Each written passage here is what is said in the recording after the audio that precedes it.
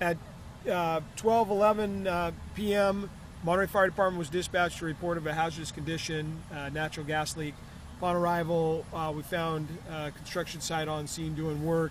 Um, they were lifting concrete out, and um, the gas the gas line got severed. Um, they were working in an area that was marked, um, which is something that'll do uh, in preparation of any type of utility work or groundwork. So they it was all approved. It was all marked. So.